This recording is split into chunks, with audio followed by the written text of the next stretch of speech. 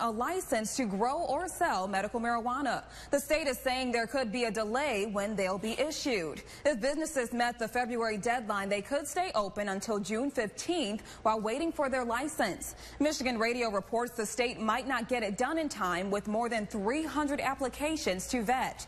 While the state doesn't plan to shut down businesses who are waiting, they could be denied by the licensing board for staying open. Regulators say the first licensed marijuana business could be up and running within the next month to month and a half.